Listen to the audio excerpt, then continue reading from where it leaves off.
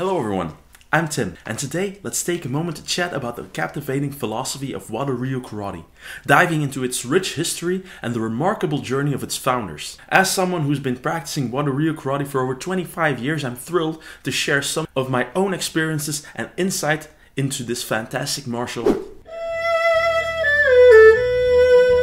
Otsuka Hironori, an esteemed martial artist, dedicated his life to mastering his craft. Born in 1892, Otsuka was introduced to martial arts at a young age, beginning his journey with Shindo Yoshin Ryu Jiu-Jitsu under his father's watchful eye. As his skills and understanding of the martial arts grew, he had the opportunity to train in Shotokan karate with the legendary Gichin Funakoshi. This experience would ultimately inspire Otsuka to develop his own unique martial arts style. Wado Ryu. At the heart of Otsuka's philosophy was the quest for harmony between body and spirit. He firmly believed that Wado Ryu karate held the key to achieving this balance. Otsuka's steadfast dedication to his art was recognized, and he was eventually honored with the prestigious title of Meijin. Today, Otsuka's legacy lives on, inspiring martial artists worldwide. Otsuka left behind many insightful quotes that capture his wisdom and commitment to the martial arts. One quote that deeply resonates with me is the only difference between the possible and the impossible is one's will. This powerful statement highlights the importance of perseverance and discipline,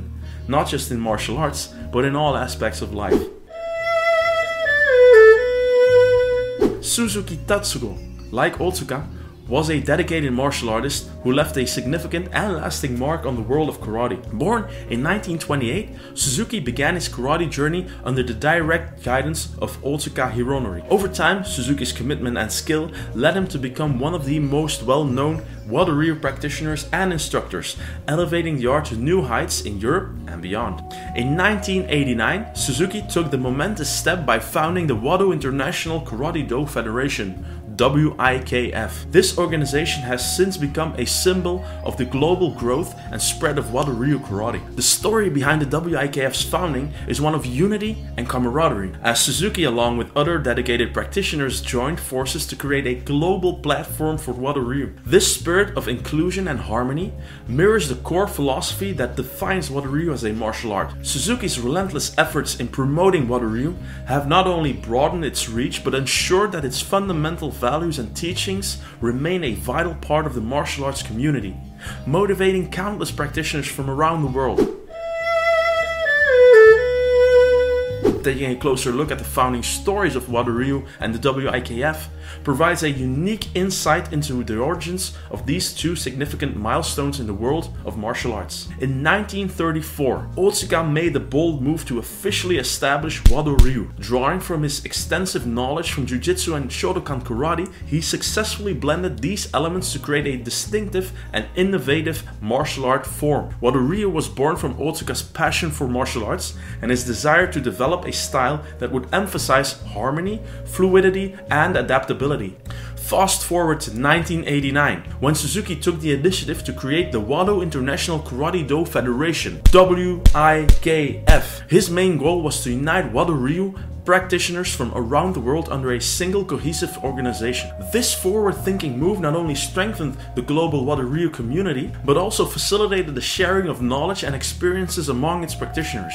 Though separated by several decades, the founding stories of Wado Ryu and the WIKF both showcase the unwavering dedication of Otsuka and Suzuki to their martial art. Their shared vision of spreading Wado Ryu far and wide has had a lasting impact on the martial arts world, paving the way for countless practitioners to embrace and benefit from the unique teachings of this remarkable style.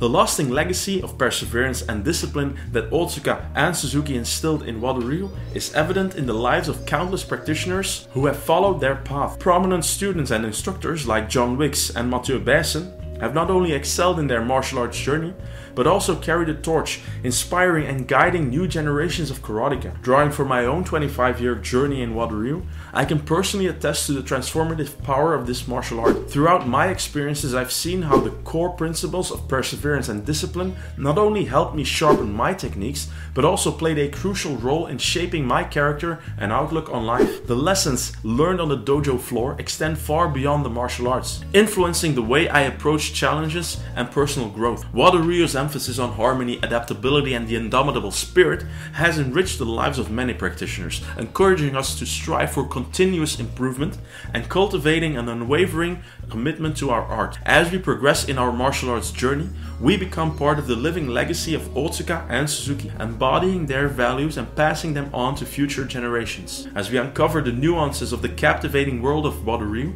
it's essential to recognize that karate isn't only about rigorous training and discipline, it's just as important to have fun and enjoy the journey along the way. In the words of Otsuka Hironori, a dojo is a miniature cosmos where we make contact with ourselves, our fears, anxieties, reactions, and habits. This insightful quote serves as a reminder that karate at its core represents a deeply personal and introspective journey filled with moments of humor, joy, and self discovery. The path of martial arts is about finding balance and embracing every aspect of experience from the challenges and obstacles to the victories and breakthroughs.